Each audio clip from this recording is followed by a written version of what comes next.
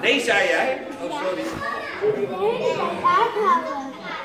Ja, maar ik vroeg of ik hem even uit mocht doen. Mag ik hem wel ietsje langer uit doen dan? Ja! Oh, gelukkig. Jij niet uit. Wil jij ook een leuke hoed? Kom, Ja, ik ook wel. jij bij me komen.